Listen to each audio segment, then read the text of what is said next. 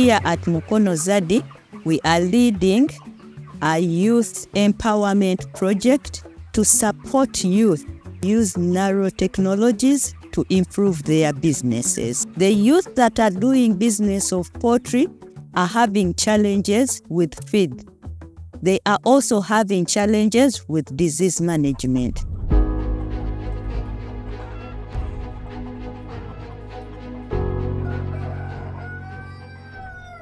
So we are now putting together these videos to address some of the issues that we have got from the youth as we've been interacting with them to see how we can help our youth on how to improve their businesses and also to help them be more climate resilient. Uh, where we are is Chikoko Mixed Farm, uh, which deals with in rearing of poultry, pigs, and goats.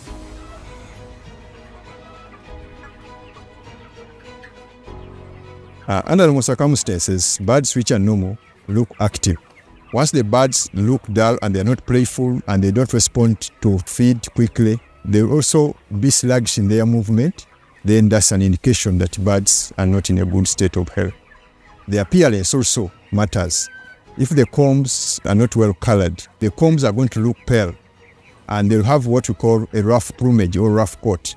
The feathers are not going to look nice then you can tell that my birds are not in normal situation.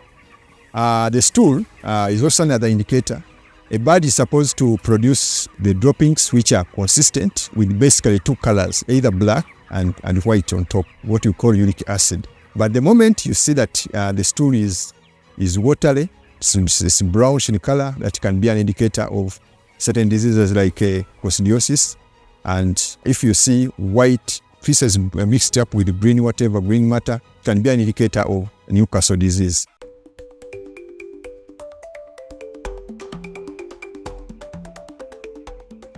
There are quite a number of diseases that affect birds in Uganda, but these ones are categorized in two different uh, categories. For example, I've got protozoan diseases, I've got bacterial diseases, and viral diseases. Viral diseases include Newcastle disease, which is a major, then we have uh, fowl typhoid, uh, we have Marek's, and then Gumboro, just to mention a few.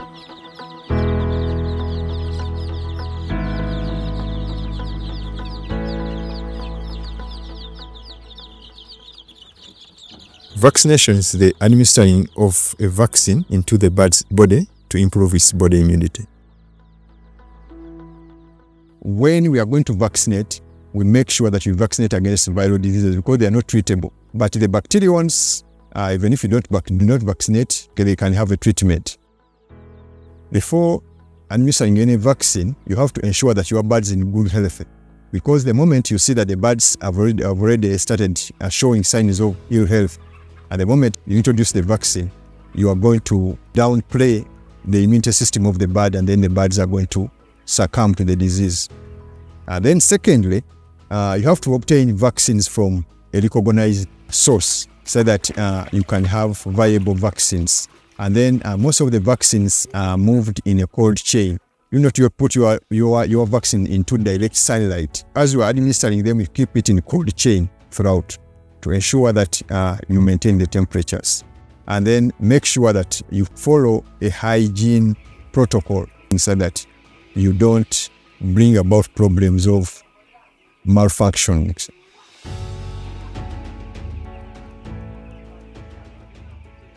The diseases that are mostly vaccinated against are Marek's, which is done at day old. Uh, it can be repeated at day 10. And then it's done through the injection subcutaneously or under the skin around the neck region of the bird. Then uh, Newcastle is done at one day and then can be repeated four weeks. And then 16 weeks and repeated every after four months. It's done by using one or two drops in the eye or in the nostrils of the bird. Then infectious bronchitis is vaccinated against at three weeks, every after seven weeks by dropping one or two drops in the eye or the nostrils. Fowlpox is vaccinated against at six weeks, and then uh, it's a fracture in the wing web. And then Gumboro is done at two weeks and then repeated at six weeks uh, through the mouth or the eye, eye drop. And then fowl typhoid is done at 12 weeks. It's injected into the breast muscles of the bird. We know as NARO that we cannot be everywhere. So we are working with local government officers, extension officers. We are working with NGOs and uh, community-based organizations that are doing extension services.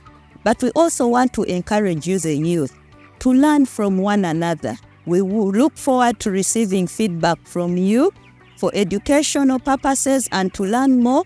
We want to request you to like our videos, download them, and subscribe to our TikTok and Twitter handle.